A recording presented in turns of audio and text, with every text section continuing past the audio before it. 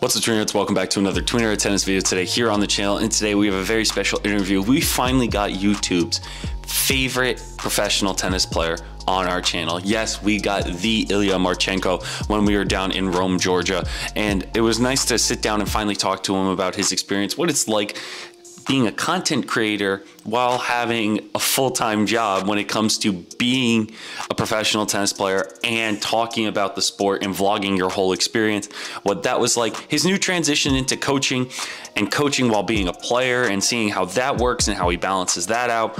And I would love for you guys to show Illya some love down in the description with his social medias and everything like that. Make sure to go show him some love. We would love to have him back on the channel to make some more videos.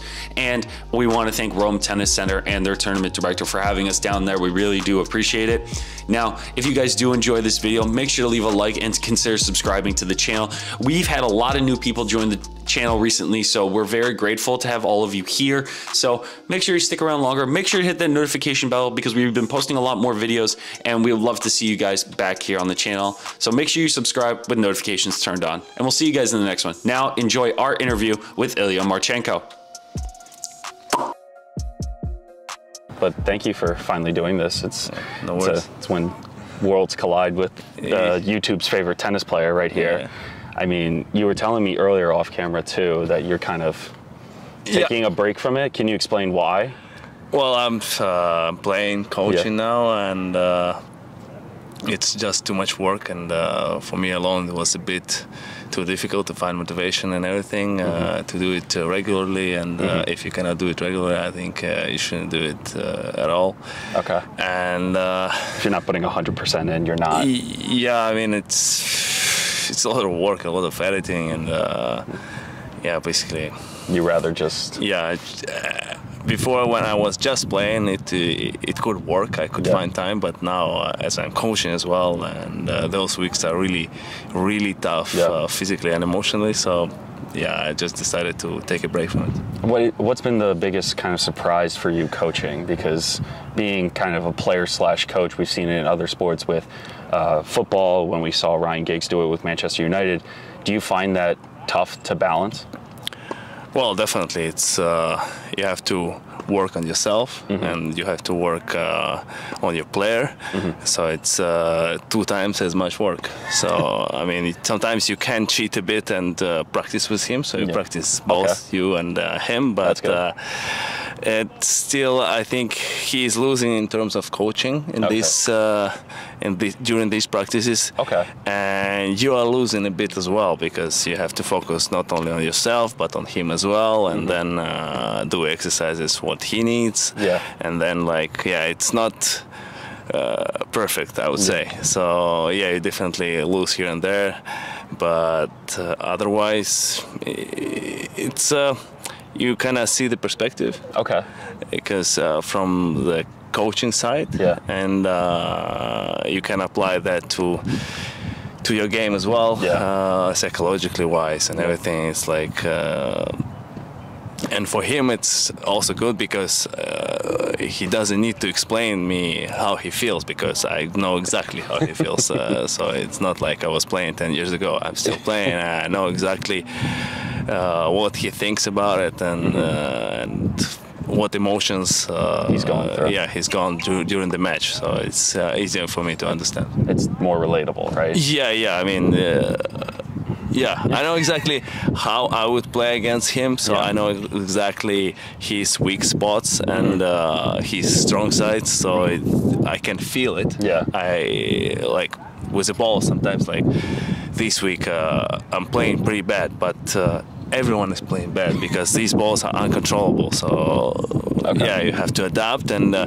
if I'm just a coach and I'm not feeling this, and I see my player is uh, cannot put uh, two balls inside the court, Yeah. I'm like uh, I'm get pissed and uh, Yeah. probably like irritated and everything, and maybe Okay. you know push him further. But Different. now it's I can understand. Yeah. Yeah, That's- these balls are not great, and uh, you just have to manage it and uh, be mentally strong. That's Yeah. it. And when it's uh, about jokes, it's uh, it's tough because you miss it, and then it's not funny anymore. It's not funny anymore. It's like Yeah. staged. Yeah, yeah, it's What is since you've kind of taken a break off of YouTube now too? What's been something that you've learned in the process of doing it, not just as a content creator, but as a tennis player as well, talking to different uh, people and different uh, perspectives? Well, I learned how to edit. That's a first thing. so it's a good skill, I, Yeah. I'd say. And then I think I miss out on uh, social media a lot during my career. Uh, maybe it could help me Yeah. uh, to to be to find myself uh, inside this world after my career. Okay. Actually, I think uh, I'm not sure 100%, but I think uh, this guy I'm working with, uh, he found me through the YouTube a, Okay. a bit. I mean, he Okay. knew me before, but uh, I think uh, his father watched some of my videos and he knows uh, the the way I'm thinking about tennis and. How I see the game, and probably it was a trigger why they Yeah. they wanted to, to work with me. Okay. I, am not sure about No, but that. that's, it's a good start. It's kind Yeah. of like your gateway into quote unquote the coaching world for you, coaching Yeah, I slash mean- player. Yeah, people know that I can speak, can speak English. Okay, because, good. you know, that's that's that's great. Congratulations. yeah. Well, I mean, uh, yeah, it's like the idea that sportsmen are dumb. It's Yeah. uh, this stereotype is uh, pretty firm. So Yeah. uh, I'm not afraid of camera that much anymore, and. Yeah, I know a bit how it works. That uh, we can stop and record it again. Yeah, exactly. It's not just one. You have to do everything in one take. Yeah, yeah, it's it do doesn't have to be perfect for for the first take, and Yeah. uh, uh, feel it gives you more relaxation during Yeah. the process. So uh, I feel a bit easier about it, Mm-hmm. and then uh, yeah, to learn something new, it's always great. And Mm-hmm. in terms of, uh, I don't know if it added anything to my tennis. Okay. Well, I'm not sure. It's tough to say. I knew everything before. Okay. What I'm saying in those videos, and. Yeah. Uh, but yeah, it's good. Again, it's perspective as well. Yeah. Uh, maybe helps a bit with my coaching as well. Do you think that a lot of people don't understand, well, have a better understanding of you as a player when you kind of have, I'm going to call this an outlet when you did your YouTube? Do you, do you think people gained a different perspective with your YouTube channel, or what was your goal kind of going into that project?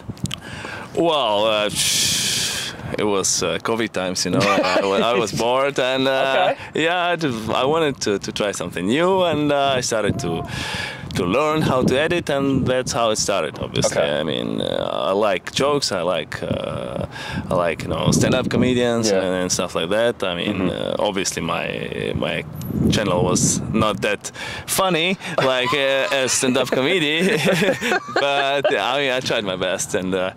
Uh, Okay. yeah, it's uh, just uh, like to learn new stuff, and uh, Yeah. I'm a kind of PC geek. Yeah. I would say. You know, I like uh, to explore new softwares, new possibilities. You know, now it's AI thing and Mm-hmm. Oh, yeah. everything. So, yeah.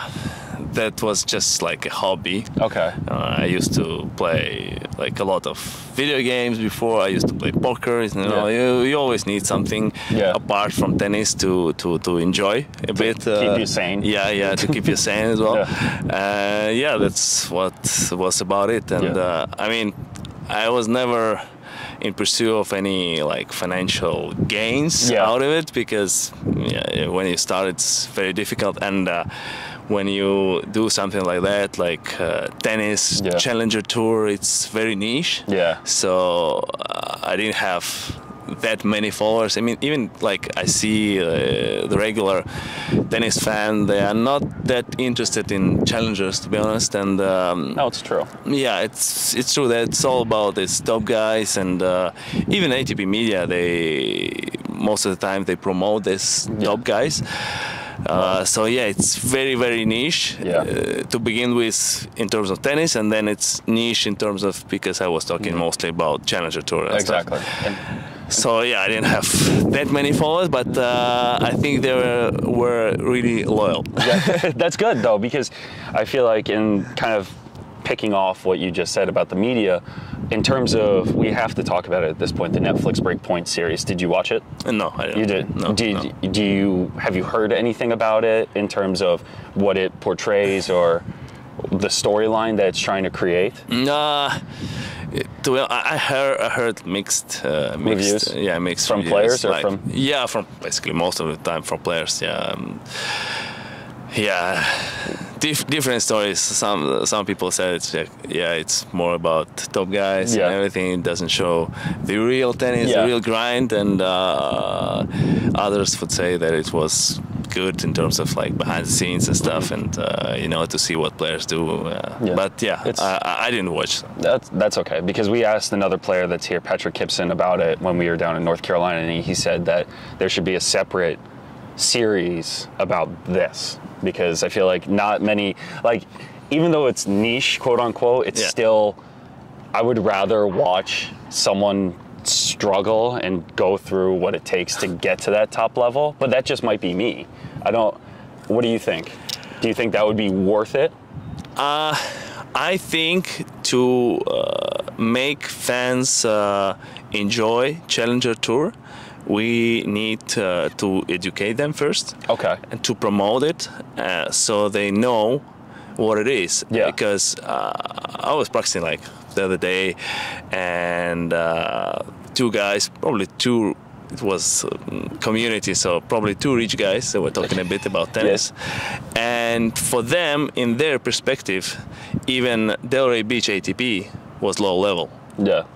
And I'm like, okay, like you have n- no idea about tennis. Like it's uh, these days uh, the competition is really, really, really strong. I think it's stronger than it used to be 10 years ago. Yeah. I mean, maybe we don't have uh, such a big players right now as big three. Yeah. Like I mean, they're Oh yeah, that's that's a generational Yeah, thing. that's- That's, like a once in a lifetime opportunity. Yeah, probably, but the competition like from top 50 guy to like 700 top guy, I mean, everybody can hit the ball. Yeah. It's uh yeah, I mean, I practiced a lot with different different people, and Yeah. uh, I can lose a set eventually to anyone during Yeah. the practice. I mean, maybe during the match it's different, but during the practice, I mean, on a bad day of mine and uh, Yeah. Decent day from him, I can lose to anyone, like even the guy who has like two points. Yeah. And the competition is strong and it's good tennis to enjoy. And when you know what it's behind it, uh, Mm-hmm. Yeah. the, the grind and traveling and uh, all the things we have to face, like uh, financial management Yeah. and. Uh, it's, uh, I think uh, tennis is great uh, school of life.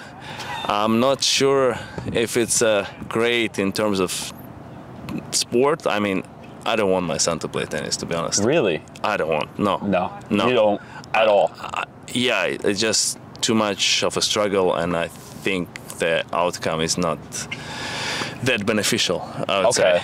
Yeah. As yeah. Would, I- would you still support your son if he wanted to do it? yeah, yeah, of Uh, course. I mean, it, it's not like I'm I'm not close. My if you. unfortunately, he likes to play tennis, so. because I you know it's like father and son thing. Yeah. He, he sees his father and he wants to be like father and Yeah. uh, yeah, but uh, I don't want him to play tennis.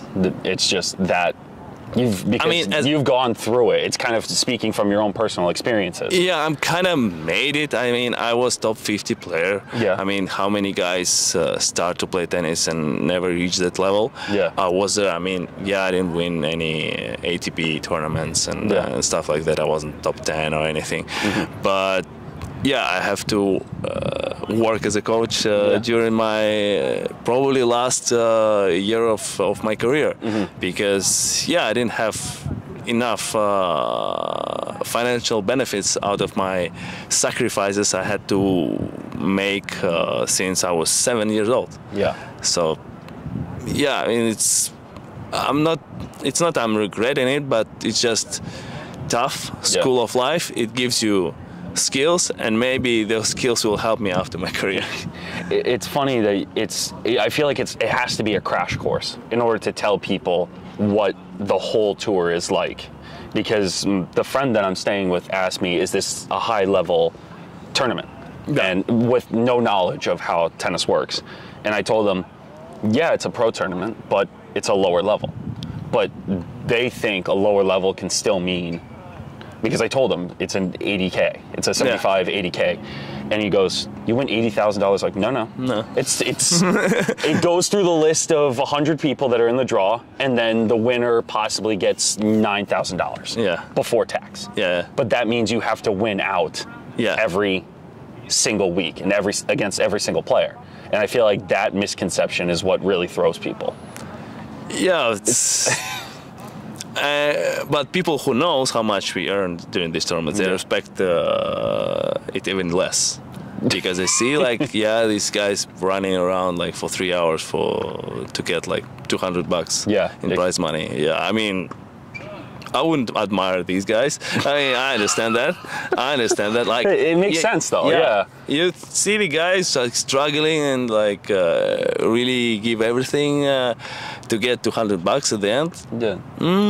Okay, that, that's why I don't want my tennis, my son to play tennis. It, it's just the harsh reality of it. Too. yeah, and it's not like you play and you earn. Uh, no, you have to put a huge amount of work before that yeah, because to be able to, to- get into this tournament and to earn those play, 200 to, not even to win the 200, just to have the opportunity. Yeah. Because you could put thousand dollars in for training and Yeah. then get hundred dollars back essentially in your investment, and then you have to put that hundred dollars back into it just to travel to the next one and then the next one. Yeah, some some years you you don't earn. You Yeah. just finish a year in minus. So yeah, it's it's a tough tough sport. I would say. Like even though you are professional, uh, some some years you cannot count yourself professional because you're not earning money with it. So Because it's not a it's not a profit.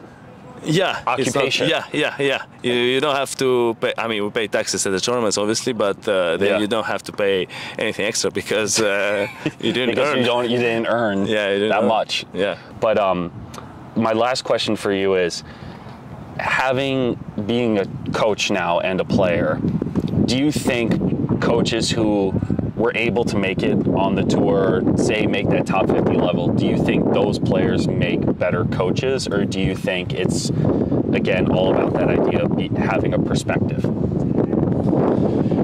Well, as as a top 50 player, I know a lot, uh, like things uh, what uh, let's say regular academy coaches they don't know. Okay.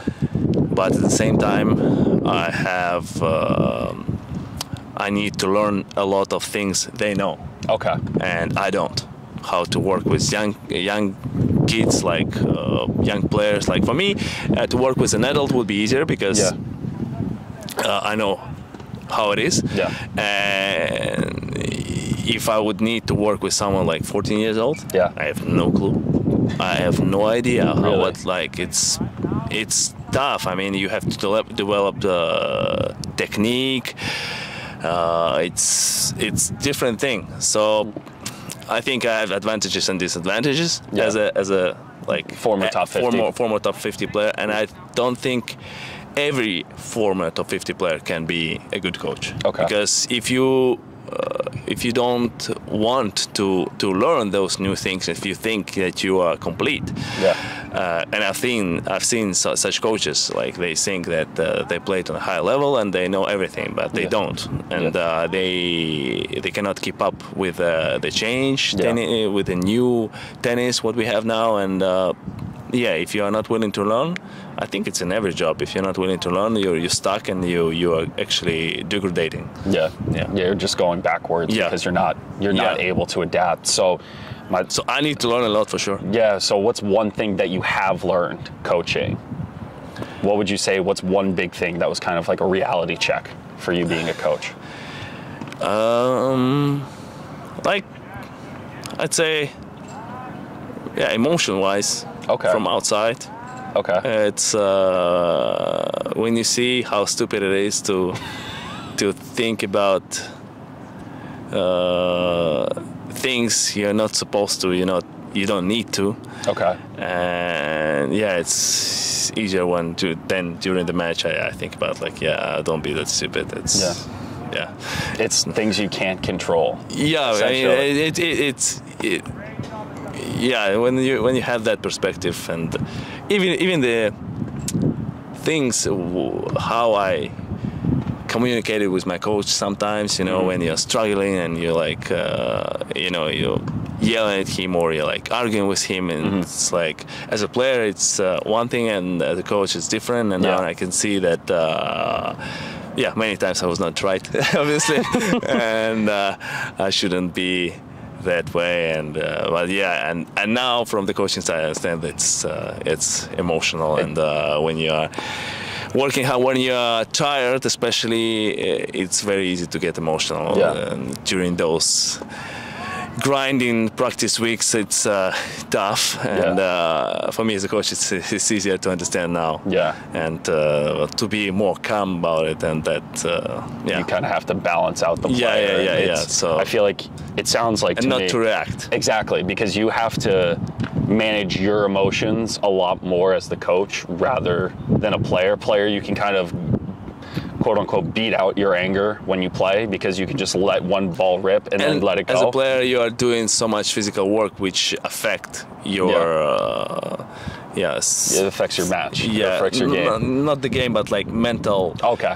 uh, how do you say state Yeah. and uh, yeah it's one thing during during the tournament you're stressed out because of the result and Yeah. uh, and winning and everything but during the these practice weeks you're Yeah. uh, yeah exhausted Yeah.